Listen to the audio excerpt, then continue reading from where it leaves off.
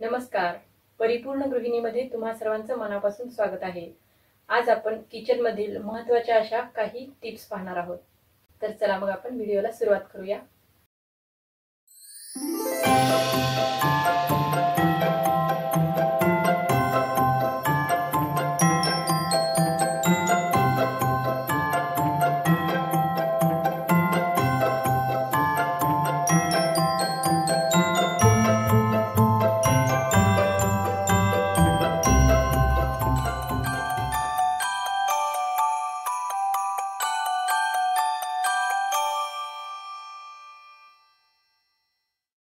तर सुरुवातीला आपण पहिली टीप पाहूया.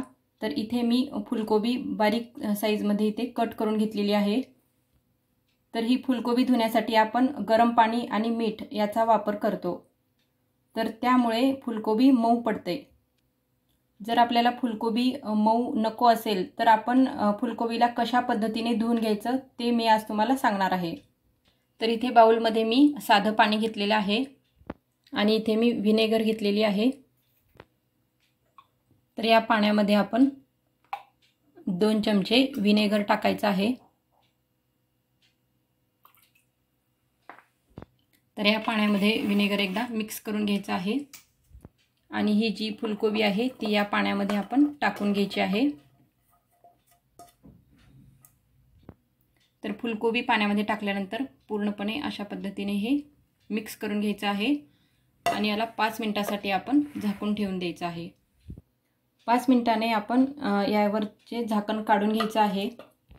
आणि या फुलकोबीमधील पाणी आपण काढून घ्यायचं आहे.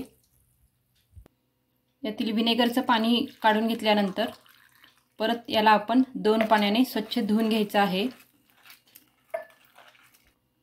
ही फुलकोबी आता स्वच्छ झालेली आहे तर याची आपण आता भाजी बनवू शकतो. दुसरी किचन टिप आता मी दाखवणार आहे. तर जेव्हा आपण बाजारातून कोथिंबीर आणतो तर तेव्हा एक तर आपण ती फ्रेश बघून घ्यायची आहे.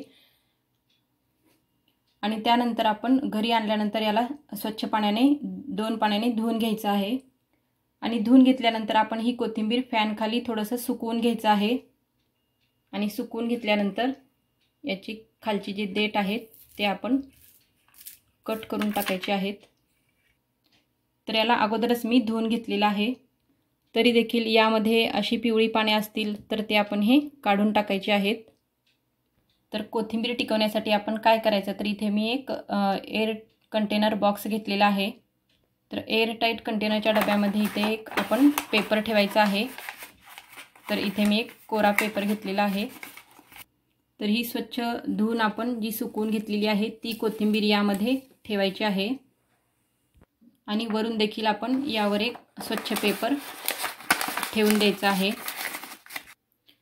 तर याला आपण झाकण लावून हे फ्रीजमध्ये ठेवून द्यायचं आहे. तर यामुळे कोथिंबीर जास्त काळ टिकते. परत दोन दिवसांनी आपण हे काढून चेक करायचं आहे. हे पेपर ओलं जर झालं असेल तर हे पेपर काढून दुसरा पेपर यावर लावून द्यायचा आहे. तर तिसरी किचन टीप मी तुम्हाला आज दाखवणार आहे. तर इथे मी सुकं खोबरं घेतलेलं आहे. तर हे सुकं खोबरं जास्त काळ टिकण्यासाठी आपण काय करायचं? हे पाहणार आहोत.